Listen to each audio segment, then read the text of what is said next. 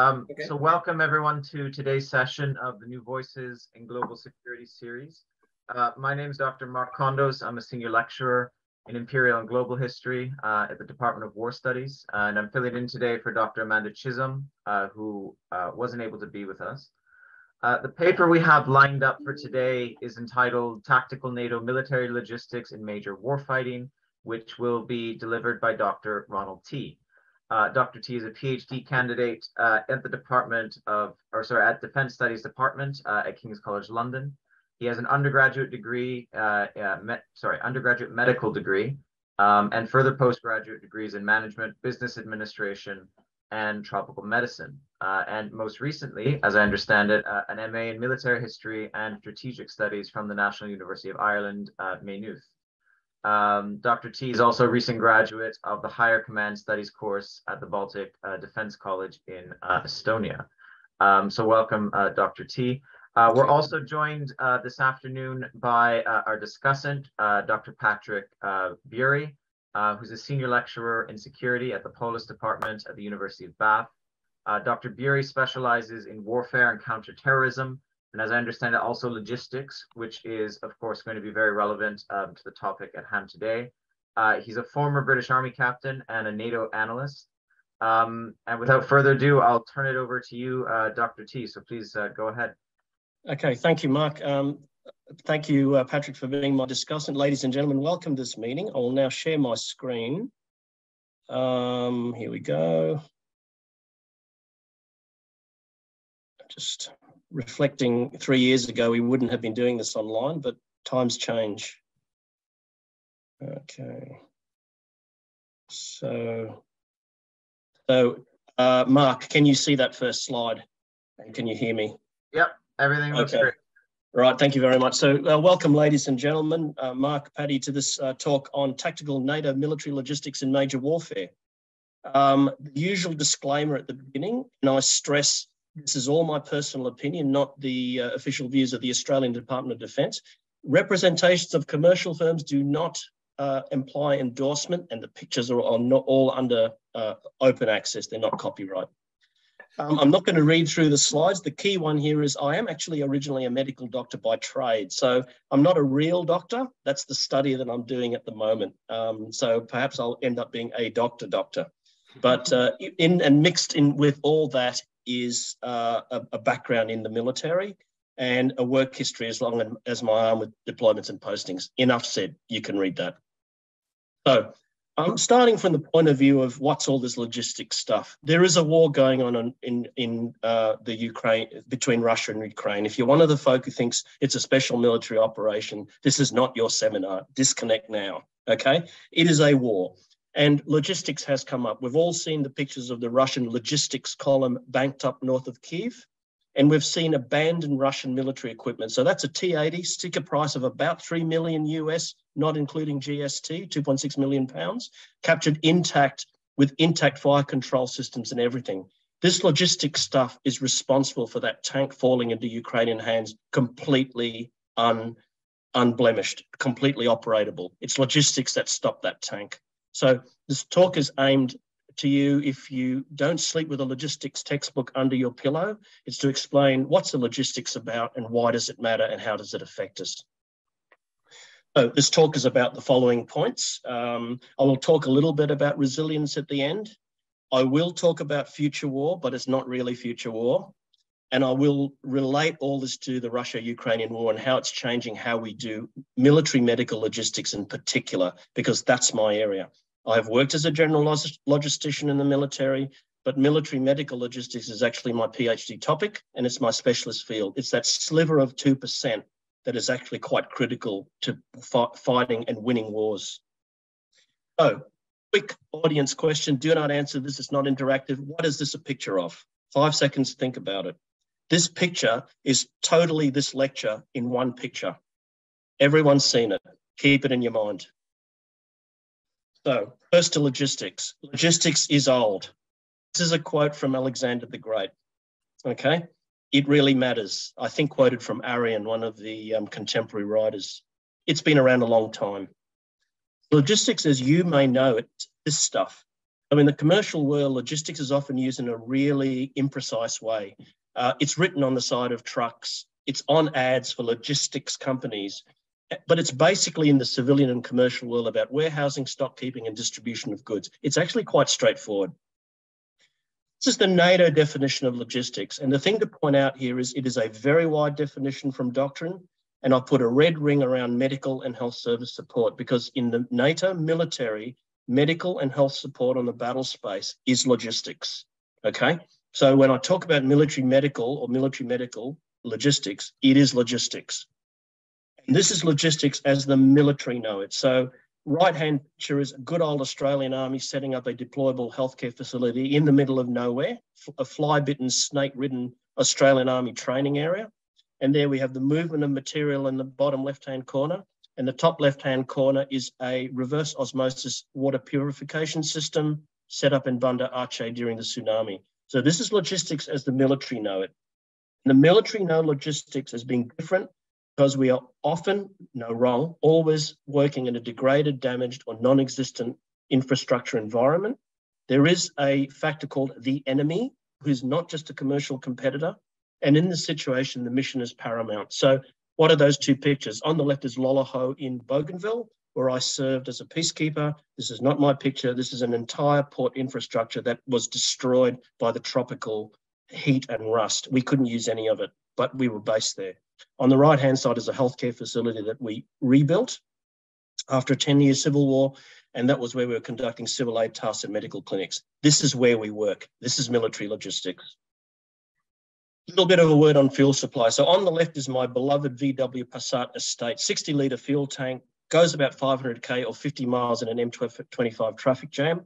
On the right is an M1A1 main Abrams main battle tank, 1900 litre fuel tank, it needs to be filled up every eight hours. It's 4,000 litres a day. If you do a lot of manoeuvring, that literage figure can increase by 50%. So that's what we're talking about the, the logistics of supporting offences and uh, military operation. I'll spend a little bit of time on this funny squiggle diagram. For those of you in the know, this is clear as clear as ABC. What this is is a tactical map. The symbols in blue are tactical symbols that represent military units. And this is the fantasy that we are still teaching students at military colleges about solid front lines, borders between them, almost in Napoleonic lines, which are impenetrable. This is no longer the case. The arrow looking at BSA, not a UK motorcycle company of the 60s, but a brigade support area. And this is where logistics and military medical logistics sits behind a front line, supported by layers of troops that somehow magically stop the enemy from penetrating towards your soft logistic area. This is no longer the case, still being taught in current NATO staff colleges. So let's talk about Ukraine and the four points that are in the uh, the spiel on the on the internet about my talk are we're going to talk about technical logical advances, Russian targeting behavior, the use of hybrid actors, and the nature of Russian offensive doctrine itself. None of this is new. Nothing in this talk is new. It's all been signposted and indicated in the last 20 years regarding Russia. Okay, so it's more of the same. Firstly, the technological advantages. There are a lot of these. The unmanned aerial systems or uninhabited aerial systems, which is the new politically correct term. Um, you've heard of the Bayraktar TB2, TB2 drone. I believe Bayraktar is the Turkish word for victory or triumph. Um, the Harop is an Israeli drone that's been around for 13 years. These bad boys are at the altitudes that you can see there. The Bayraktar in particular can last for 27 hours in the sky. You can't hear it or see it from the ground, uh, but it can hear and see you. And you, everyone in the audience will have seen the um, footage that Ukrainian media are putting out on YouTube of Russian uh, soldiers being zapped by uninhabited unmanned aerial systems. They are out there and they're making a big effect on the battle space. Um, what's not being featured are these medium altitude, long endurance systems. So these two drones, uh, $200,000 for the DX3 uh, UAS, has a three meter wingspan and a 1500 kilometer range. 1500 kilometers. Well, in Australia, that's the difference between Melbourne and Sydney and back again. Okay. Um, the QXX222 can go at uh, almost 85% Mach, which is about 400 miles an hour, 450 miles an hour, and can carry two 250 kilogram bombs up to two and a half thousand kilometers, right? These are medium altitude, long endurance systems that can reach out and strike in your rear area that no longer exists. I put it to you that if you load up enhanced explosive into those 250 kilogram bombs, it is not the effect of a 250 kilogram bomb. So putting a tenfold increase in enhanced explosives, it could be the equivalent of two, two and a half thousand kilogram conventional explosives. So the point of all this is uh, also that um, the battle space is constantly being monitored, and we see this in Ukraine as well. Planet.com, you can subscribe to Planet.com. They have 180 satellites in orbit, and they will give you two meter resolution images of the, of the globe um, refreshed every 24 hours soon every six hours. So, in the words of Joe Frazier, the uh, boxer, he can run, but he can't hide. So, there is no rear area. Okay. So, um, the picture on the left hand side is an Azerbaijani drone feed. These are Armenian troops, I think 25, 30 kilometers behind the line. They got out of their truck, stretched their legs, had a cigarette, and this is the picture of them a second before they were all destroyed by a Azerbaijani drone. So there is no more rear area. And this is certainly what we're seeing in Ukraine with civilians 1,500 kilometers behind the line being targeted by Russian um, missile systems. Big challenge is for logisticians to think tactically. More on this in a moment. So everyone's familiar with the concept of no man's land in World War One. So this is an area that was swept by fire that you could not enter, dead ground raise your head, you'll get it shot off. The entire Baltic region now in no man's land. So if you have missiles that have a range of 1,500 kilometers, if you have bad boys like that Russian uh, intermediate range ballistic missile, the whole of your country is a no man's land, functionally, effectively. And this is certainly what's being uh, reflected in, in Ukraine. Now we go on to Russian targeting behavior, willful disregard of international humanitarian law. Now, Russia has demonstrated a consistent pattern of behaviour. A couple of points there to do with placing targets of military value next to churches and places of cultural value, targeting medical facilities directly. I have that on first hand from Georgian colleagues in the Georgian Military Medical Service. Uh, and the excuse is always that collateral damage, the euphemism for um, uh, non uh, targets of non-military value being hit, is that its targeting is imprecise from what we can see, and we don't have enough data to support things at the moment, uh, conclusions at the moment. We haven't been here long enough to make conclusions. It looks like the Russian Federation are up to the same tricks in Ukraine. This is a demonstrated and consistent pattern of behavior. Now, if you say that, well, it's due to targeting being a very imprecise science, this argument is consistently not holding much water as time goes by. Um, with medical facilities in particular, getting back to the question of military medical logistics, um, in the new barbarism of war, do laws of armed conflict have moral power to hold parties responsible anymore? Now, this is a hospital in Syria hit by accidentally, possibly, by a, a Russian or Syrian piloted um, vehicle launching a, a missile. That's a whole argument about laws of armed conflict and the erosion of the nation state. I won't go into it here, but this is one of the symptoms of that. Russia has signed and ratified the Geneva Conventions. That's the good news. You get a smiley for that, but you also get a non smiley for how many times uh, medical facilities were targeted in Syria by Syrian and Russian planes in the eight month period. According to two sources, between 200 and 300 times. By my math, that's at least one to two times a day. Right. The next point is the use of hybrid actors, such as private military companies and other proxies. Um, here's a bit of a rogues gallery. You see the little green men in the middle, the left. Uh, Islamic State on the on the middle to the right. Denis Pushilin and the other bloke on the left, um, let me move this icon, Pasheshnik, I'm sorry for the Russian speakers in the audience. They are respectively the leaders of Luhansk and Donetsk People's Republic, not recognized by anyone. Yevgeny Prigozhin, pardon my pronunciation, Vladimir Putin's ex-celebrity chef, is actually the worst kept Kremlin secret, the uh, founder and owner of Wagner Group, which is a Russian extension of foreign policy. Um, proxies and little green men, none of these parties or entities can be a party to international humanitarian law. IHL, International Humanitarian Law, wrongly referred to as the Geneva Conventions, they form part of it, they're not all of it, um, can only be uh, agreed to and ratified, signed and ratified by nation states. Um, if, if you don't have a nation state, IHL doesn't really apply. Leading to this point, the question being, what will future war look like? Dr. Rob Johnson at the Future Warfare Conference in Amsterdam two weeks ago, his answer was, How will you know you are in a war? So, how will you know you are actually in a war? This is the other problem. The nature of Russian offensive doctrine itself is this, uh, uh, another point I'd like to make here. I won't go into this in detail. Most of you, some of you may have heard of Glubokaya Operatia, which is Russian for deep battle. It's a form of combined arms tactic that was used to success in the Eastern Front in the Second World War by the Red Army. There are several key features of battle. Artillery, which I've uh, outlined there in red, is a key feature of deep battle. Intense artillery barrages, saturation of grid squares and areas with high explosive. Russian army, everyone thinks it's a tank army. It is, it has tanks, less of them after going into Ukraine. However, it is more an artillery army with tanks. This very quickly is an organizational chart of a Russian motorized brigade. The little uh, symbols are tactical symbols. The point of this tree diagram, if you look at the red rings, the left-hand side red ring actually shows you the number of artillery units in a Russian motorized rifle brigade. That is three to four times the equivalent of artillery in a British brigade, a US Stryker brigade, or an Australian um, combat brigade. They have a lot of artillery.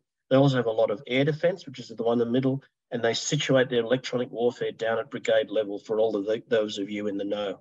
Um, these assets are intense and focused. The Russian army is an artillery army, and artillery is a big factor of the way they do war. And the, the way they do war is to go into urban areas and just simply destroy them. So the Western approach generally is to identify targets and go after targets of interest. The Russian approach, as has been shown in Grozny in 1994, as has been shown in Aleppo in 2013, as has been shown in Homs in 2013, is about saturating grid squares with high explosive and just destroying everything in that area. And we have evidence of this. That's how they do it. And if you've got a lot of artillery, that's how you do it. The picture at the beginning is actually a picture of the modern logistic battle space. This is a battle space packed with sensors. All movement is seen. You are 100% observed when moving to contact. So as the lady in her dress moves across that red carpet, she is 100% observed. There is nowhere to hide on the red carpet. So even if you employ camouflage trying to cross the red carpet, you will leave tracks. Um, I've seen drone footage of tanks under camouflage. You can see them because you follow the tracks from the drone. Uh, um, there's no point putting a camouflage net or turning a radio off. You will see it. It tanks a 70 ton vehicle will leave tracks in grass. There's nothing to it. And lastly, this um, logistic uh, um, room service has knocked on my door. This logistic target is a soft skin, unarmored target with nowhere to hide. And if you put a red uh, sign on the back of that model, it doesn't really provide that much protection. So it's an analogy of the modern ta- tactical logistic space couple of words on resilience. Um, the definition of resilience I've used for this talk is this one by Christopher Peck, very well known in the supply chain management business. Uh, academia, returning to an original state, moving to a new state as a, uh, after being um, adaptive, being flexible, adaptability, transformation. These are all the senses of resilience. However, resilience is an overused word. So in the, the recent um, integrated review, UK integrated review in 2021, I counted as I was used 85 times in the U UK integrated review, and there were not a single definition was given of what resilience actually was. In NATO, there are a lot of uh, definitions going around in the system, especially in the latest NATO doctrine that's been released. But again, it's not really that well defined. That's actually one of the reasons why I'm doing this PhD. It's an overused, ill defined word. It's a catch all that I think in the end means nothing unless you define it. Very common re resilient response curve. Most of you in the audience will have seen it, ladies and gentlemen. It's about a big stress. You've got performance on the left, time on the right, big stress, performance drops. Resilience is a measure of how quickly, how readily you return to a functioning state or a new functioning state. So resilience is in that red ringed area of the curve.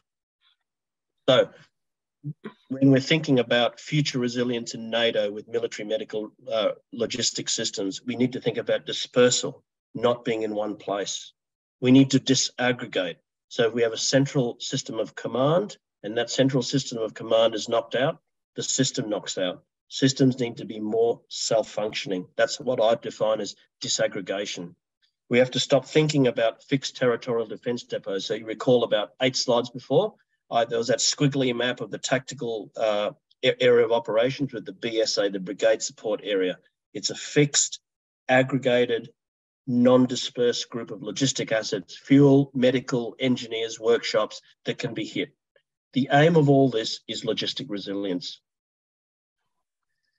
This is a slide of the European Union Battle Group Medical Treatment Facility I took a month ago when I was part of the evaluation team.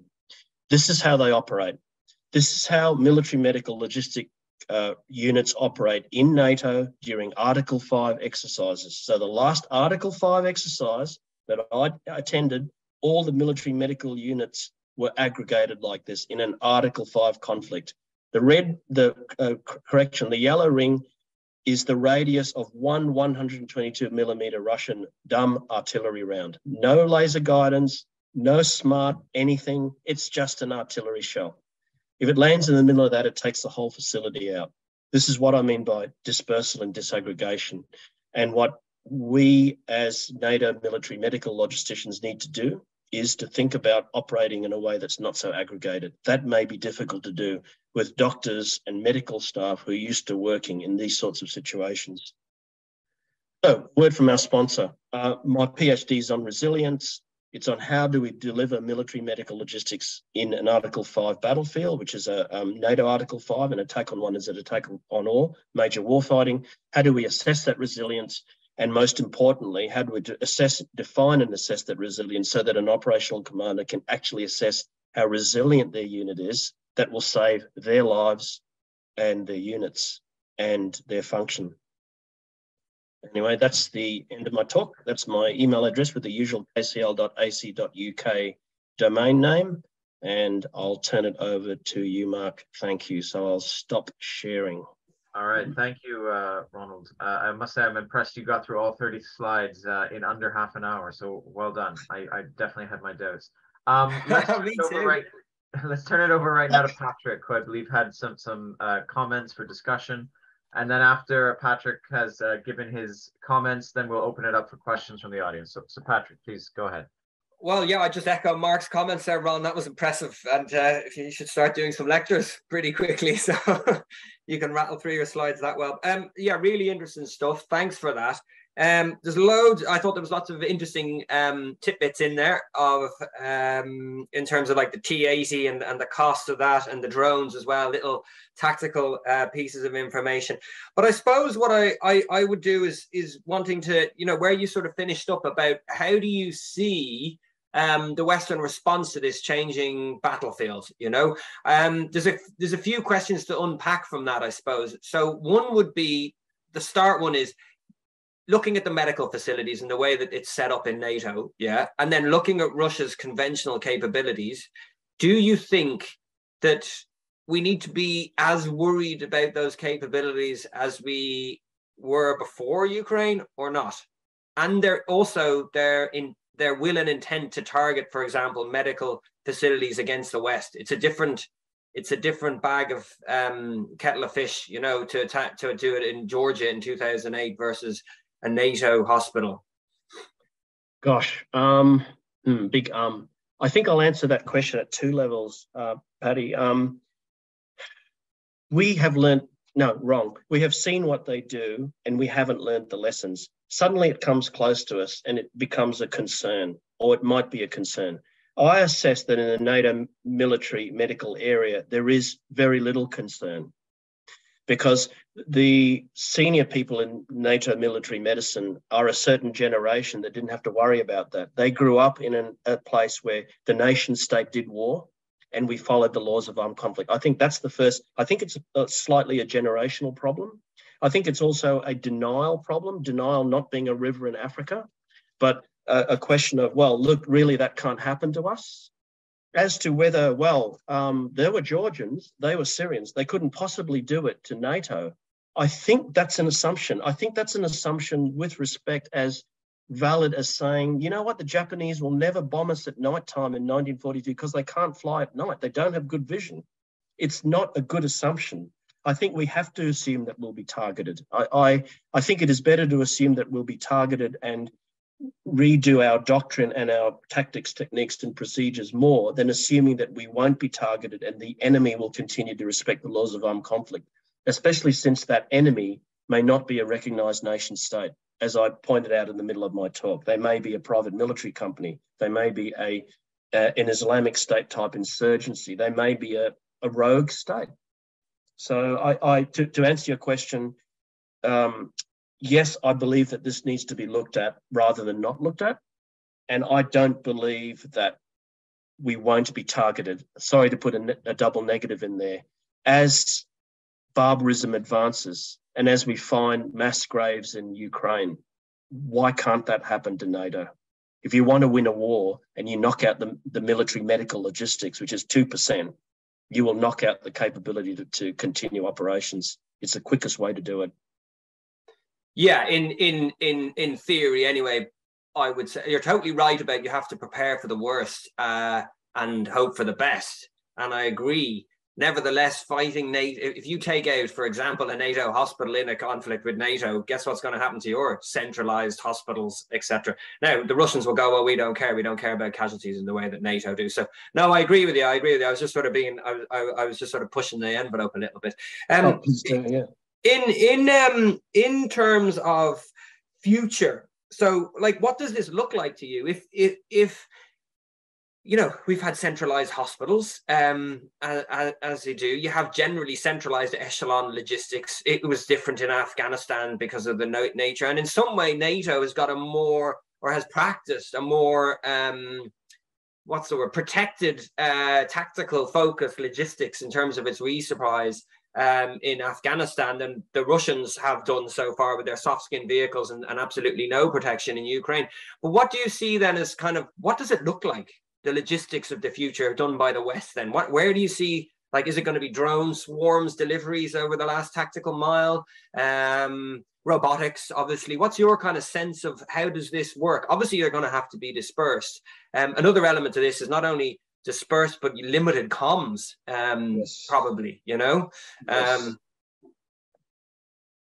yes so what, I, what do i see mm. interesting question it's a really good question unusually for an australian army reserve officer a lot of my experience has actually been in the baltics mm. and in a, the closed space of estonia lithuania and latvia what we are seeing is the application of I don't want to go down a tangent here, resistance operating concept. So it's it's total defense based on making a nation's facilities resilient, and that includes health facilities. So I, what we will be seeing, I believe, much like the special forces community, is we'll be breaking our centralized treatment areas, our logistic nodes, into much smaller nodes. Yeah. If you then look across the Pacific as what the US Marines are thinking of practicing with contested logistics in the in the South China Sea, in the China mm. area of operations, if I put it that way. They are looking at many disaggregated nodes that are all self-functioning and able to, to, to function when the overriding network of command and control is disrupted. Yeah. Because we know that the Chinese protect, uh, um, uh, practice what they call the three warfares, and one of them is systems destruction. That is actually written in PLA military doctrine. Back yeah. to this talk. So I believe that we're going to have dispersed nodes we're going to have decentralized command, known as mission command. And we're going to have, um, as you pointed out, the technological advantages of unmanned aerial systems, but more to the point, unmanned ground systems. So a single unmanned ground system is done by Milsys in Estonia now, can carry one stretcher casualty or two on a totally unmanned vehicle uh, that has artificial intelligence that can actually work out its best um, its best route uh, its maintenance schedule is all defined by the algorithms in its AI. So I think we're looking at a constrained battle space. We're not going to have the kind of helicopter evacuation you saw and I saw in Afghanistan because helicopters are not flying. There is YouTube video after YouTube video Russian attack helicopters getting zapped by um, man, um, um, portable air defense uh, missiles. We can't do that now. We're going to have to move them out somehow, or maybe we don't move them out at all. As one uh, commentator uh, said to me, US Army medical um, officer, this is not blood far forward. This is blood far rear. So instead of pushing blood forward and saving lives, maybe we just keep it in the rear area for the ones who manage to survive that we can get them back. That's a totally different paradigm. That's so exactly your question. Yeah, yeah, yeah. Totally different. So, so I think in response to your question, summarize, it's about dispersal, disaggregation, nodes, limited battlefield movement, use of unmanned, unmanned vehicles, changing thinking, and changing thinking with casualties and what we're prepared to tolerate. Thanks, Ron. And I was gonna. This is so. If it's nodes, does this mean kind of stocks? And I'm not just talking medical here, but stocks actually push forward into packs almost, and then and then and then be. more resilience. And I, guys, this is what you have. If it kicks off, that's it. Like you're you're not going to be in comms. You're not likely to get anything back. So you're you know yeah. when you run out of that, you're going to be overrun. Essentially, is that what we're looking at?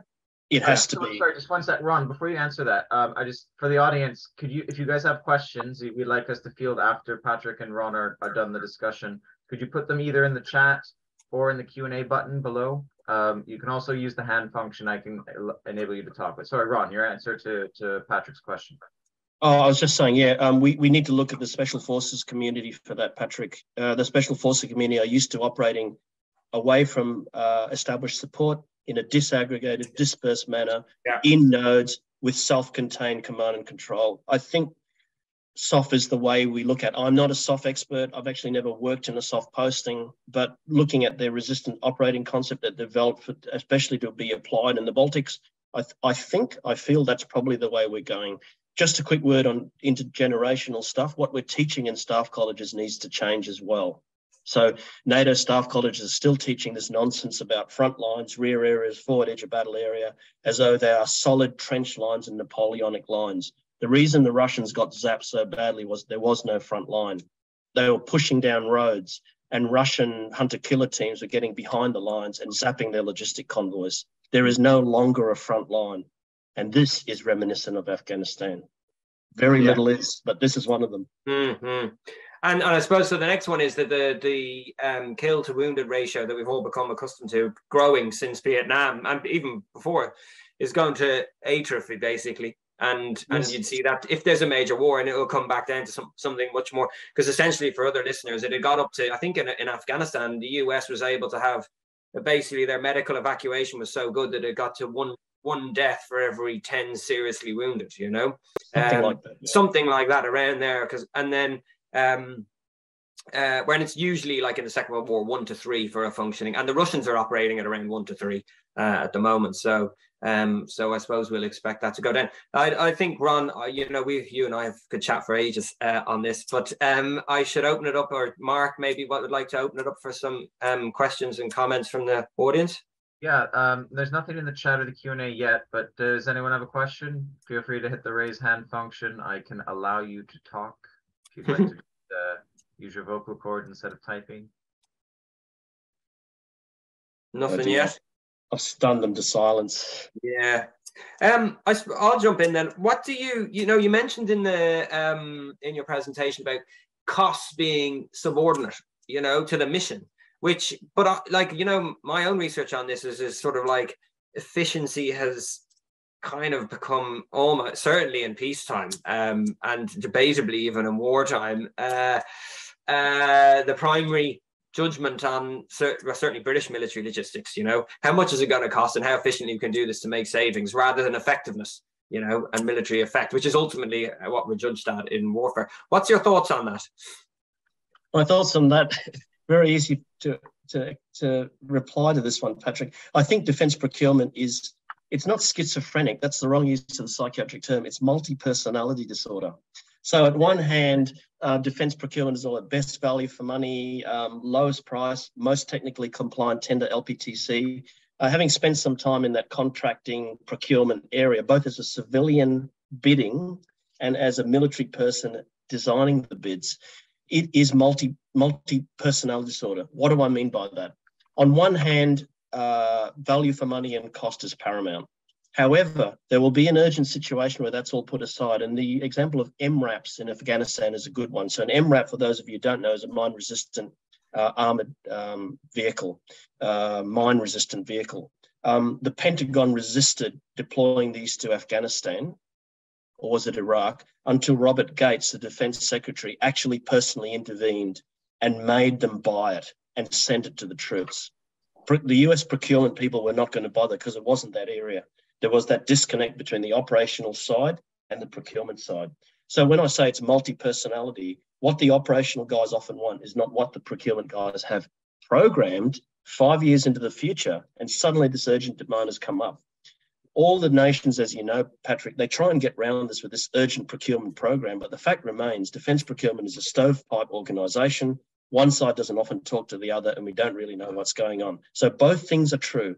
Cost is paramount, cost containment is paramount but the mission is also paramount. Mm. And I think it's a dynamic balance between the bean counters and the war fighters to oversimplify it, you know, very and a sense of mission, the national sense of mission priority, really too. Yes, um, yes, yeah. You can always borrow if you have to, essentially. You, um, you can always borrow. There's a backer who supports your cause, but yeah, yeah, absolutely. No, it's interesting. I remember on the procurement from my own experience they uh, they brought out a new blue uh, force tracker, personal one for a platoon level, and they've been developing this. I think it was with Nokia or something for years, right? And you're thinking they've gone through all the infantry trials. We got handed this is a new piece of kit. It should be handy. It was squaddy proof, and uh, they gave it to us. and we used it for a day or two in Afghanistan. But they hadn't thought this through, right? It took eight batteries, eight eight AAA batteries per unit. Imagine to run it. Yeah. Didn't think about so it. So you needed that was for eight hours. So you needed to be carrying each person carrying 24 AAA batteries out in the 40 degree Afghan heat. We were just like, this is this is bananas. How are we going to carry all this? You know? Yes. So and it was sacked off from that perspective. Like we were just like, this, this is logistically too difficult for us to use. Not really that it, it, it's sort of half work, but so sometimes these things that come through exactly until they meet contact with with the reality, which changes, you don't actually know. Um, no, you don't.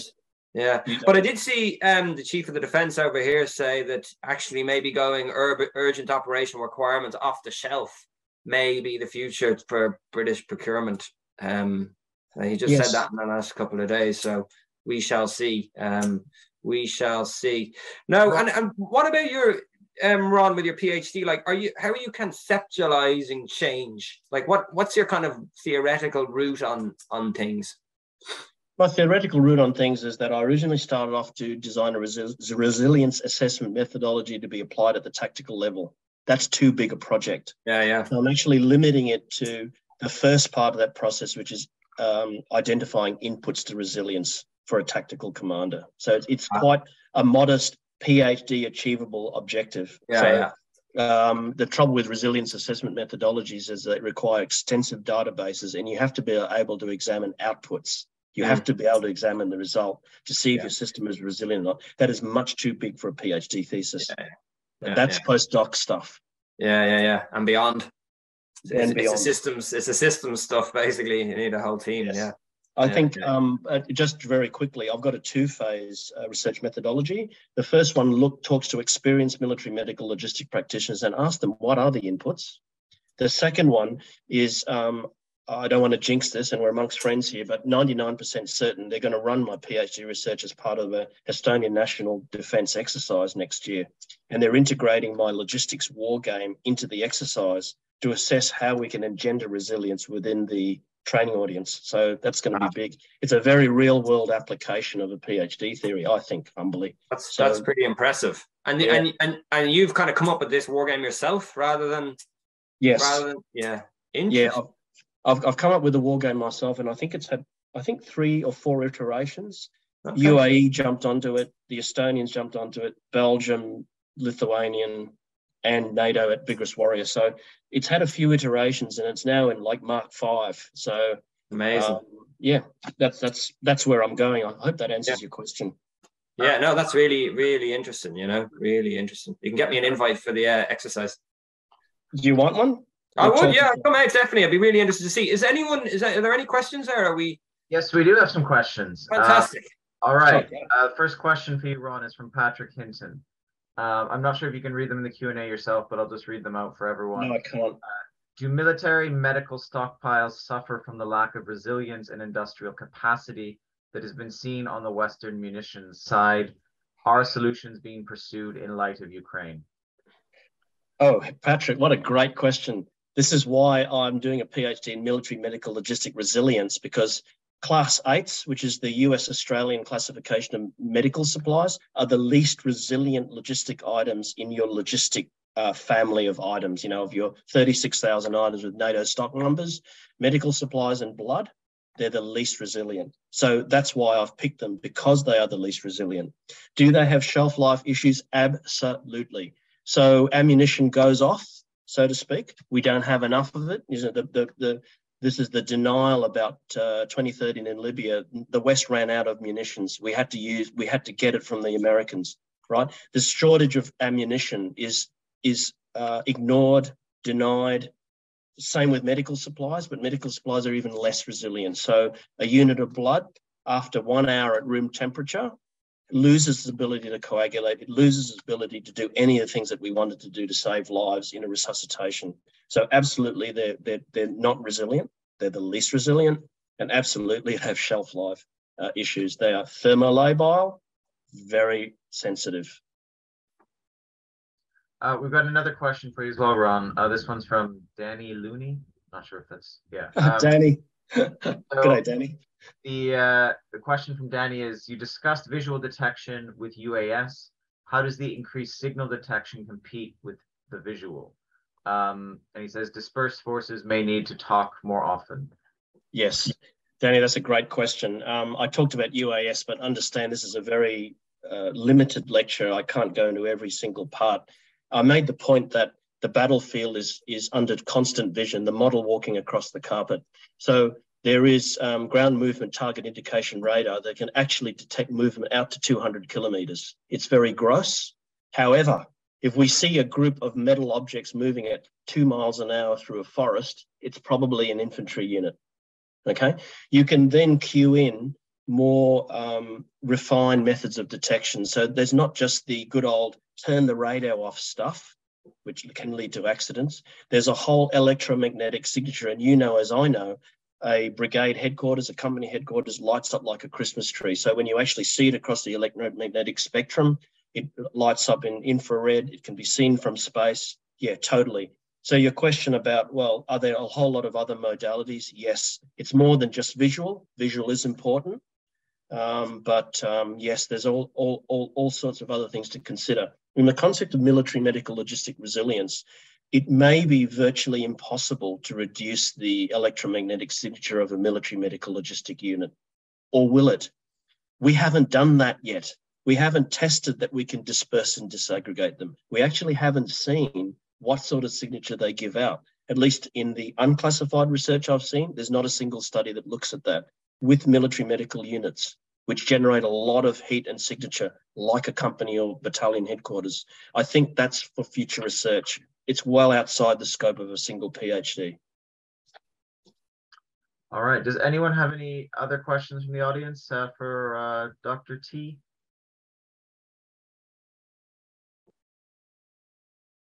Patrick, do you have any more questions while we're maybe? No, I just think on that point, it's really interesting. Uh, it, actually, because I, I, I think, and Danny's there asking, like, right, yes, dispersed units would need to communicate more.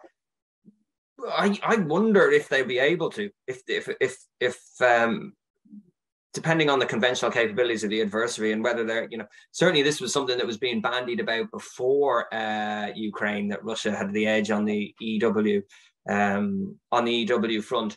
But uh, I, and I don't, I, I don't know actually how it, it's still capable, but I don't know if it's to that extent, uh, you know, capable in terms of it would force a dispersal and a, and a, a lack of use of of comms. Um, but it does it does come down to there's another element to this too which is all tied in which is actually orders and the pace of orders and this ties in with what ron was talking about in terms of um, training staff officers but not only staff officers all officers because the the the orders process certainly if, if it's anything like i went through is so cumbersome and slow um Yes. That the the tempo and dispersal is, is, yeah, this is it. You know, and, and, and I, I remember looking at Libya and, and like you're like, God, a militia in Libya could probably organize a company attack faster than a a, um, a, a company, you know, over WhatsApp. Now, look, yeah, it's it's in the clear yes. and all, but it's hiding in the noise. The problem is when a militia attack, they're not as well trained as the company if they they go through. There's a balance to be struck, but um, there's certainly more to be done there as well. I think about pace and tempo. Yes, I, th- I think the militia would use signal the Estonian yeah, yeah, well, yeah. use signal. The Kaitseliit use signal. Um, yeah. Interestingly, yeah. Um, yes, thank you for reminding me about Danny's question. Danny, um, your question about units talking to one another is very important. Um, I want to reference Jack Watling at RUSI on this one. Jack makes the point that there is a tolerance in the West about not communicating. What does that mean? If you switch radios off and you move people around at night, you are going to get accidents. So even with the special forces training, there's only a certain amount of training they can do before they reach a point where, where people start getting killed during training. So the way the, the level at which we can practice non-communication and dispersal may actually be limited by occupational health and safety considerations in the West. And we may not actually be able to turn off our radios as, as much or turn off our communications as much to practices as we could. Why? Because in the real world of training, people will start having accidents and people will die. And it'll turn up on the front page of pick a newspaper, International Herald Tribune, The Sun, whatever. Um, so the point about communication is it's a balance between practicing dispersal, practicing limited communications, but balancing that limited communications against the risk of accidents and training accidents. Not my point, Jack Watling's point, but a very good point to mention here, I think. Um, this is not a wicked problem, but it's something that needs to be looked at more, I think, especially with military medical logistics, not just combat units, but logisticians. Um, Paddy, you had a point no, I was just going to say, I'd say if in the case of a general war, though, that risk appetite for for occupational uh, accidents would go out the window. Essentially, you know, yes. generally, you have. I remember in the Second World War, they had people jumping out the back of trucks to see how they landed from a parachute. You know. Yeah, I, I, I took Danny's question as, um, you know, what do we do in the steady yeah, state? Yeah, yeah, I agree. Yeah, I think it, with urgency, with the Ukraine, that their nation is is is has an existential threat yeah. know, at its doorstep, on its territory. So all those things tend to go out the window a bit. Yeah, mm. agree. And we could talk. I think the real big one here is going to be Taiwan. Actually, you know, as we move on, in in some ways, Ukraine, and this is not to diminish the struggle there, but I think we'll probably see it, the contours of how it may end over the next year or so. And um, Taiwan logistically would be absolutely fascinating. We could talk at that ad hominem, you know we could. Yeah. That's that's that's a big named area of interest for myself as a as an Australian military person. Um, of course, yeah. Looking at that that that area, the South China Sea, um, Chinese distance strike. Yeah, exactly. Uh, Chinese exactly. street warfare technique. Um, yeah. yeah. doctrine. Um, yeah, that's another. I think that's another session. Yeah, yeah, yeah, absolutely, absolutely. Well, I don't know, Mark. Is there any other questions or there aren't? Uh, I'll throw it out there. One. Any last questions for um, Dr. Ti from the audience? If not, I think uh, Ron, we've uh, worked you fairly hard already. Um, yeah. Seems like you, you've had a, a, a very good discussion with, with, with, Patrick, and, and and some of the questions were quite uh, informative as well. Um, so I'd like everyone, you know, just to thank uh, thank Ron for his talk. Uh, so uh, join me in a, a, round of applause, if you will. Thank you. There we go. Thanks, Mark, for organizing. And yes, thank you as well, Patrick, for, for being such an engaged uh, discussant. Uh, before we um, uh, end the session, I'd just like to uh, remind everyone that uh, the next event um, taking place in the New Voices seminar is going to be on the 9th of November. Um, it's we're going to have um, Dr. Francisco Mazzola, who's a visiting lecturer in international relations and security studies um, at uh, City University of London, speaking about community policing in Lebanon between counterinsurgency and securitization. Uh, and again, that'll be 9th of November, same time uh, as this session. Uh, so yeah, thanks again, Ron, for a, a fascinating yeah. talk, and I and hope everyone has a good rest of the afternoon.